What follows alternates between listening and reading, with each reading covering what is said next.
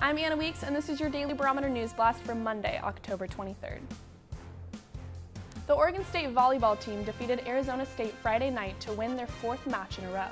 The Beavers' four-match conference win streak is their longest since a five-match streak in 1990. Mary Kate Marshall led the team in kills for the 20th time this season. Four players finished with double digits in digs. Freshman Grace Massey recorded 25 digs, the most by an OSU player since 2015. The team is now 5-5 in conference play and is 8th in the Pac-12. The Beavers will return to Gill Coliseum this Friday and Saturday to face off against Utah and Colorado. Both matches start at 6 p.m. Are you interested in getting more involved on campus?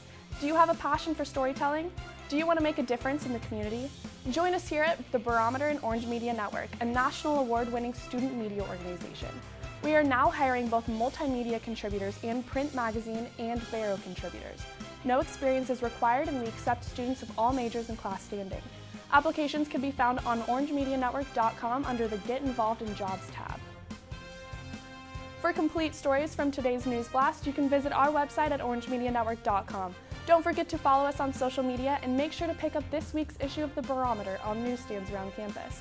From all of us here at Orange Media Network, I'm Anna Weeks. Thank you for tuning in.